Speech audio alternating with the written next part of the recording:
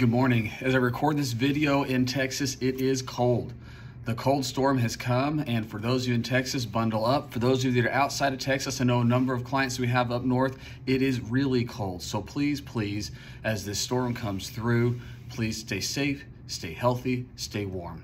I want to take a quick moment as we get close to the end of the year just to share a couple of quick thoughts with you. First of all, our sincere appreciation for the trust and confidence that you place in us as we work with you to be stewards of your wealth. We will continue that dedication to take care of your financial needs, to be that trusted advisor that provides the information, the help, the guidance that you need to reach and surpass your financial goals. So we know it has been a very difficult year in 2022.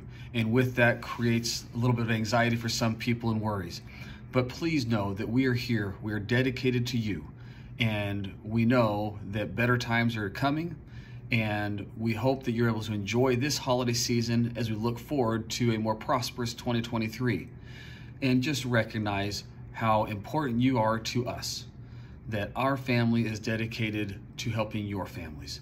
And as we do so in managing and being good stewards of your wealth, we will see success as we continue to move forward. So, in this holiday season, we do hope that you enjoy the holidays, that if you're able to spend it with family, that it's loving, enjoyable, memorable time, that you'll be able to recognize the true blessings that we each enjoy each and every day.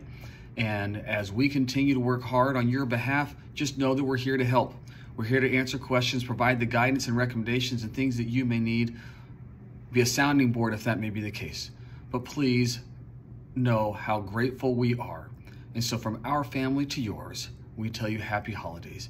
Enjoy it, be safe, be warm, be healthy, and we look forward to a prosperous 2023. Have a wonderful day.